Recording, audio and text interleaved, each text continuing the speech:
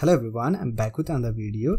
Here in this video, I'm going to be showing you how you can install Wondershare Filmora 11 on Windows 11 operating system. So that's been said, let's get started. Now to download Wondershare Filmora 11, open your browser and search for Filmora and open the link from filmora.wondershare.com.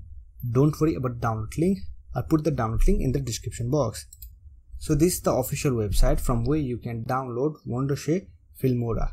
Now to download, simply click on product option and here click on Filmora video editor for Windows.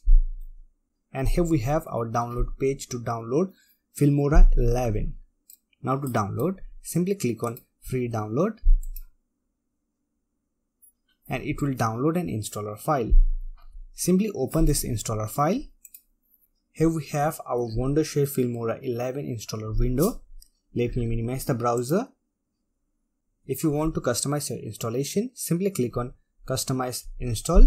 Here you can select your language and the installation folder. By default, it will install on C drive programs file. If you want to change, you can simply click on this arrow icon and select your location. But for now, I'm just going to keep it default, then click on install. Here you can see it is installing so it will take some time to install. Let me complete the installation process and after that I'll show you how you can activate Wondershare Filmora 11 on Windows operating system. Our installation has been completed. Now simply click on start now. It will open a new window with a message that the installation was successful. Simply close this window. Here we have our Wondershare Filmora 11 software.